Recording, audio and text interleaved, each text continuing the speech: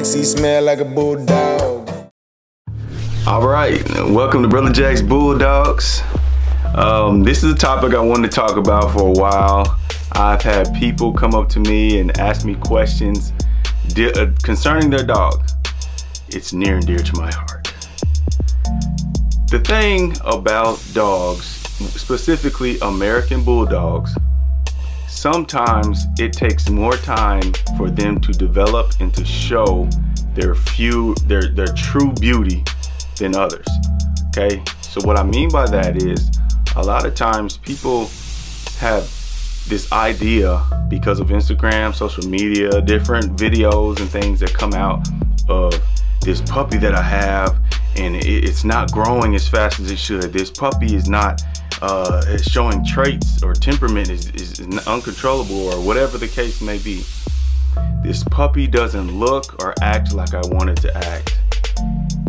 Well, if you've done research and you took the time to find out who the parents are of the puppy and what behaviors this puppy should display based on its genetic pool, you shouldn't have to worry a lot of times we get ahead of ourselves and we don't take the time or we, we don't give the puppy time to turn into whatever he's supposed to be.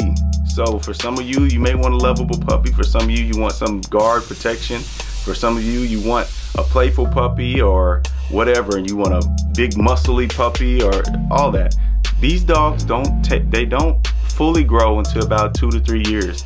So you want to give them time. Don't judge them. Yes, they may be look full grown or they may have grown fast and now they're slowing down or or maybe I had a, I had a dog who was so bitey, the most bitiest dog you've ever seen. I mean, he bit everything and everyone. But he was playing. He was just real mouthy. And for some people, those dogs end up in the pound. But if you give it time, you train them, and you discipline them and show them what how they're supposed to act, it always turns out.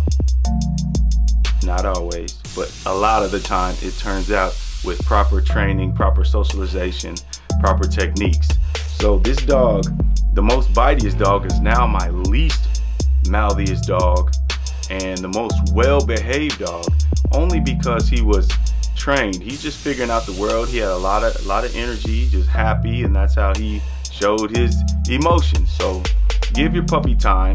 I was worried about him because he didn't look like I thought he was supposed to look. His head was small, his body was small, he didn't look muscular. Well, all that has changed. And I'm gonna show some clips of how the puppy developed into this amazing beast. I mean, he's solid, he's great temperament, um, which those are things I was worried about. I wanted a dog that had a great temperament, I wanted a dog that uh, was uh, solid body, so body wise, body type. He didn't have to be super muscular, but I wanted him to be strong and, and, and not out of shape and slow and unathletic and things like that. So he turned out great, turned out more than what I could ask for. He's an awesome dog. And so I, a lot, so I really wanted to make this video to give people encouragement that when you get an American Bulldog, sometimes you see these videos and they look like, dang, I'm not gonna have that, so you get rid of them. Or man, this dog has a bad behavior or behavior I don't like. Sometimes it just takes time and effort to train them, to uh, get to know the dog, spend time with them, man. Really get to know the dog and see what makes them ticks and tick, and then use that as a tool to train them to how you would like them to be and we don't want to have any more of these American Bulldogs sent to shelters or sent to pounds or sent off or, you know, ending up in these in these places where they usually get euthanized or get missing uh, misrepresented or you know sometimes people call them pit bulls and things like that american bullies. There's a clear cut difference. So take the time to get to know your dog. Give your time give your puppy time to grow and enjoy them. Most of all, enjoy them. You spend time with that dog, all these things will smooth out. So there it is for today. That's the nugget.